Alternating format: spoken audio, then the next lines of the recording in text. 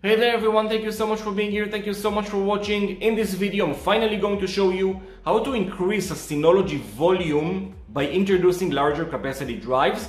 I'm saying finally because this topic is something that I was asked about numerous times in the past. I always said I'm going to create a video about it, so this video is long overdue. Obviously this process is a bit more involved than just taking a Synology NAS out of the box, placing drives in it, and creating a volume from scratch. In this case, we already have a volume and we already have data on it. Obviously, we don't want to lose that. Of course, the process is possible, but there's a certain way you need to go about doing it. By the way, please take into account that this process is only possible if you're using a volume with a RAID array that has redundancy built into it. RAID 1, RAID 5, RAID 6, SHR, SHR2.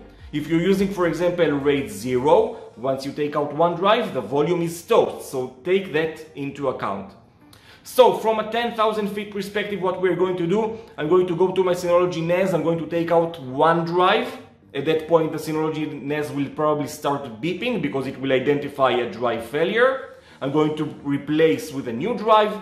Then I'm going to go into DSM because we will need to do something that's called volume repair. This can take many hours to complete according to the amount of data you have on your volume. Only that process finishes will I be able to take out the second drive, again volume repair, and then the third drive, again volume repair, and then the fourth drive, again volume repair. Only then, only after my NAS only has four drive bays. Only after I replace the fourth drive will I be able to increase the volume size. Up until then I will not have the option to. So let's go over to my NAS in my network rack. Let's start the process. Let's go.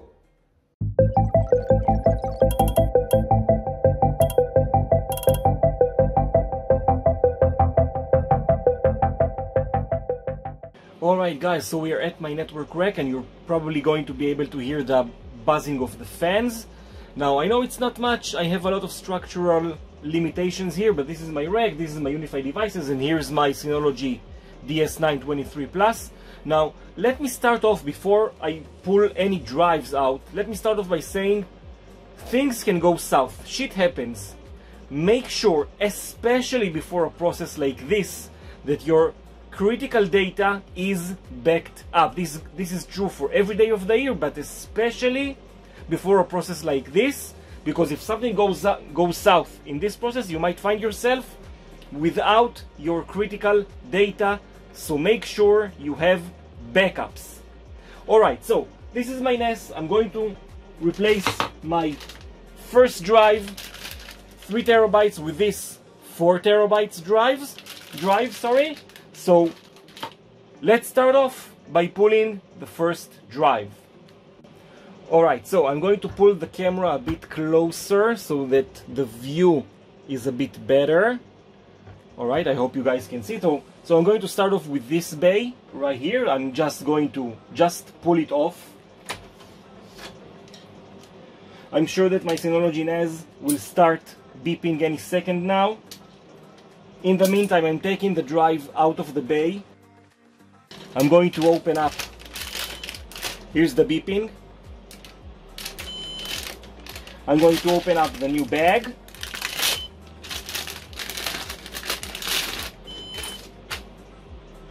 Here's the drive. It's a red, red plus or red pro or whatever. All right, it's ready. So let's, let's put it in. Alright, so the drive is in, but it's not enough. We need to go into DSM to start the volume repair process. Let's go ahead and do that next. Alright guys, so I went to my computer, I opened up my web browser, I went into the DSM web interface and immediately I was taken to the storage manager and I found out that my uh, volume is in a critical state, which makes sense.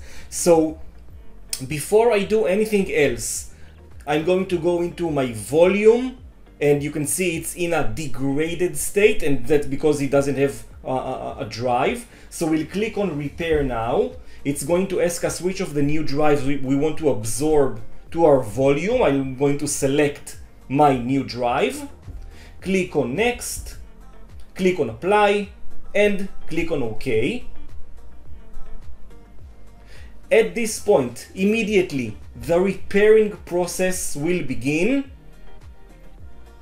In fact, here it is, it has, it, it has begun, sorry.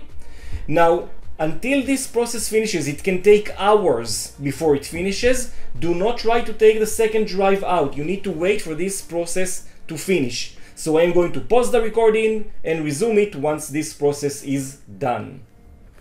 Alright guys, so the volume repair is now done.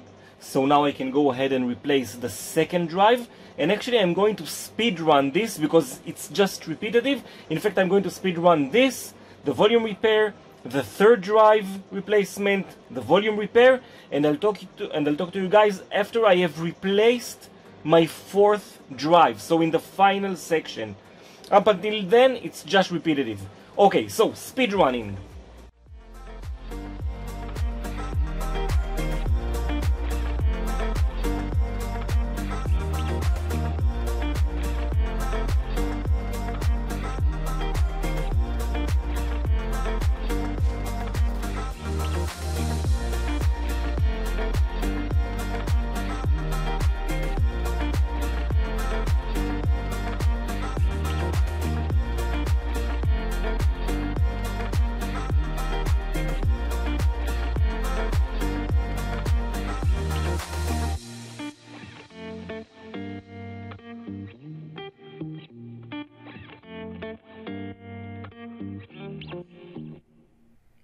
Alright guys, so my fourth drive has been replaced and the volume repair, the last volume repair process is now complete and now it's time to actually go and expand my volume size. So in order to do that, I'm already logged into my DSM. I'm going to open Storage Manager. I'm going to click to click on volume 1. Now, here's my volume. It's currently 7.8 terabytes. I'm going to click on the three dots here, settings. I'm going to scroll down to modify size. Here's the max allocatable size because I have already replaced all of my hard drives. I'm going to click on max and save. And in a few seconds, my volume size will be increased. And actually, there are a few observations that I would like to share with you if you're following along with the process.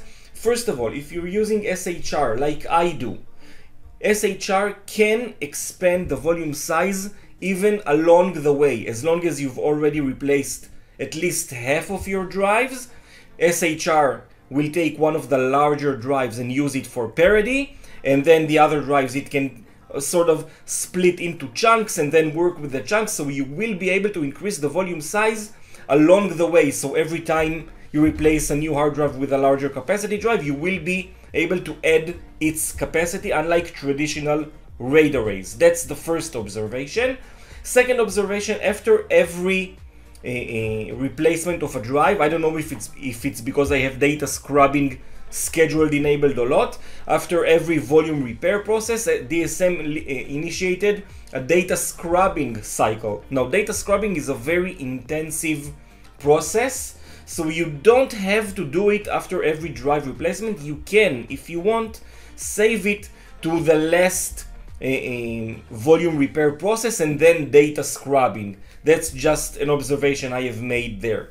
So guys, this is the entire process. As you can see, my file, my volume was already increased to 10.5 terabytes because there's a bit of an overhead and then some of the uh, allocatable the space is taken to uh, towards a file system overhead and parity and etc etc so that's the process in itself even though it's a very let's say sensitive process if done correctly it's almost bulletproof it's not complicated and not something very difficult and I hope you like this video. If you liked it, please consider liking and subscribing. This really helps the channel. Liking and subscribing the video will help to get it in front of more people on YouTube and it really does support the channel. So guys, I hope to see you all in my next video and take care guys. Bye bye.